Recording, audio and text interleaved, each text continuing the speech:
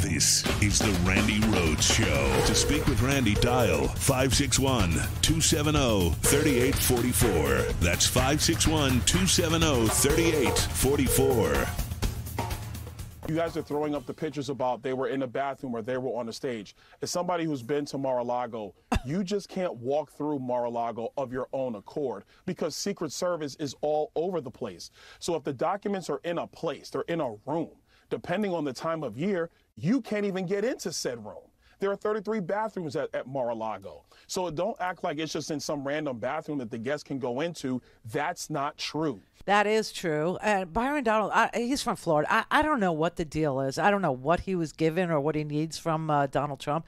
I, I don't know why he would say such a stupid thing like the Secret Service are tasked with guarding Donald Trump's boxes in his bathrooms. Listen, I got news for you. The Secret Service isn't there to guard bathrooms. The Secret Service isn't there to guard boxes. The Secret Service isn't there to guard weddings. They're not Donald Trump's, uh, you know, a, security detail for, uh, you know, occasions for uh, the people that come into. They are there to make sure nobody assassinates Donald Trump. Period. End of story. That is the entirety of their mission, of their goal. Okay. And uh, might I remind you? Might I remind you that in the indictment, even though you know we knew this because it was in the newspapers as it was happening. 20 Secret Service agents who were detailed to Donald Trump over the past, uh, you know, few years were all interviewed by uh, Jack Smith in front of the grand jury. And they were all asked whether or not they were aware that there were boxes that needed, uh, you know, protection that had classified material or that were uh, responsive to a federal grand jury subpoena. And they all said, no, we had no idea there were boxes. We had no clue. Okay. Uh, and, and, and obviously, the Secret Service isn't there to protect bathrooms and boxes in the first place. But let me just read from the indictment. Okay, this is just one little paragraph. It's real quick. It says The United States Secret Service provided protection services to Trump and his family after he left office, including at the Mar a Lago Club, but it was not responsible for the protection of Trump's boxes or their contents. Trump did not informed the Secret Service that he was storing boxes containing classified documents at the Mar a Lago Club.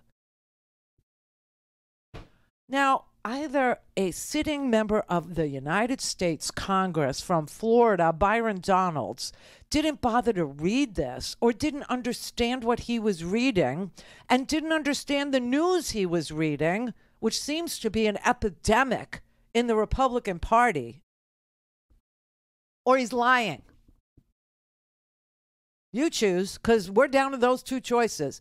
Either he has no earthly idea what's been written in newspapers or that the Secret Service were called down to the grand jury and that almost two dozen Secret Service detail agents testified that they had no idea that he was storing classified information or boxes of any sort in bathrooms on stage. They had no earthly idea. And he's still willing to sit on the TV and go, you know, there's no big deal that they were in a bathroom because the Secret Service protects those bathrooms. What? Are you out of your freaking mind? Or he's lying. I don't know which it is. Actually, I don't actually care anymore. But it's time for people to actually say, oh my God, this is bad. This is inexcusable, and I cannot defend the indefensible. As an American patriot, I can't defend this this indefensible behavior by this man who held himself out as an America First president who cared about this country in any way, shape, or form.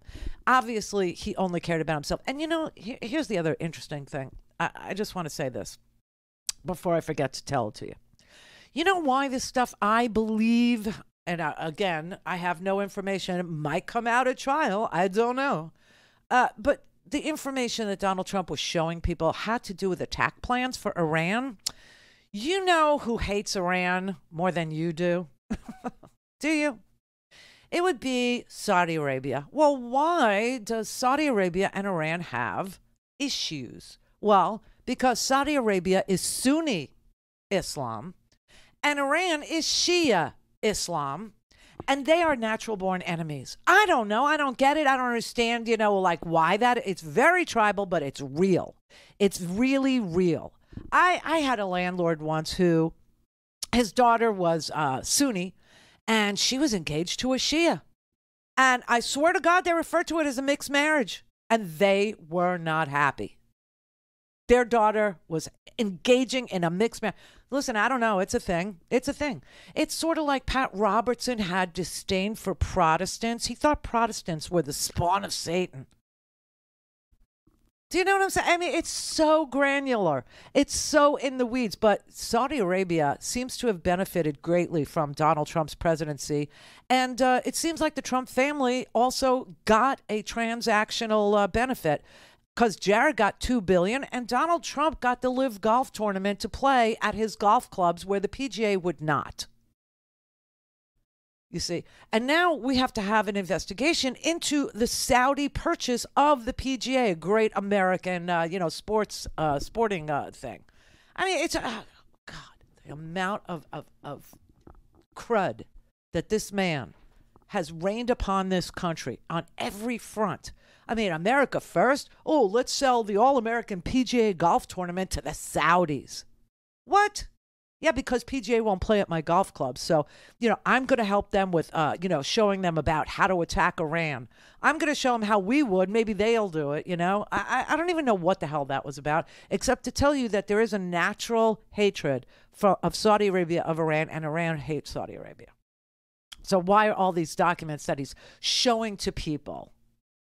who aren't authorized to see it having to do with Iran and attack plans for Iran. I don't know. I don't know. But I just meant to tell you that. And also that the Secret Service doesn't defend or protect bathrooms or boxes. Leon on Long Island.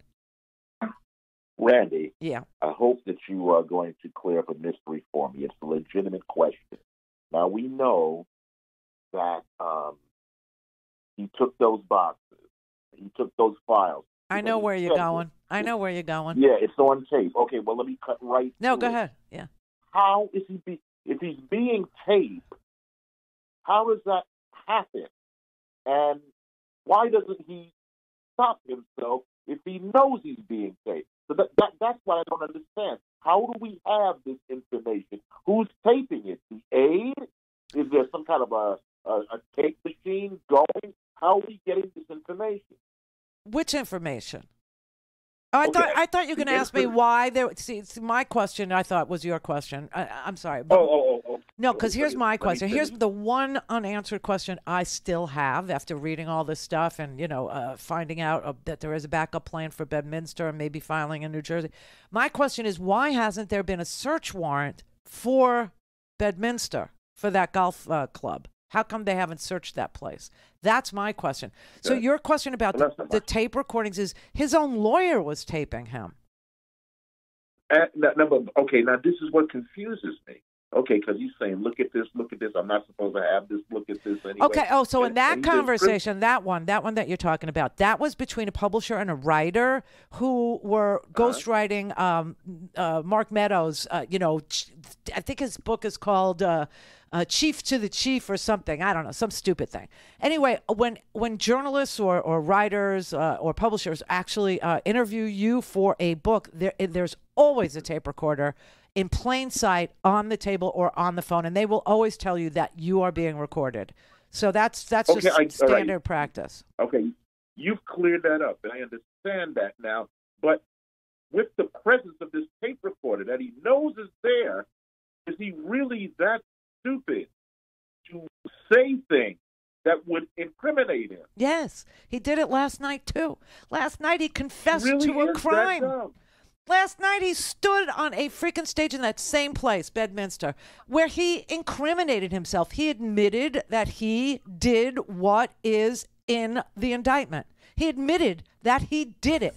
His theory is he was entitled to do it, which just is not supported by the law but that's his that's what he's doing that's what he's you know spewing because he wants people to believe something other than the truth shocker but yes he is that stupid that's why i keep I'm saying you know keep talking donnie keep talking now I'm genuinely stunned. But I do have a question about the search warrant of Bedminster. I, I, I mean, maybe it did happen on the. Sl- I don't know how you would keep something like that quiet. I, I honestly don't. But obviously, he's bringing the documents to Bedminster, and obviously in New Jersey at that place, he is being recorded, showing it to people unauthorized to see it, and no search warrant. So those recordings were made with his consent, and yes, the answer to your question is he is that stupid.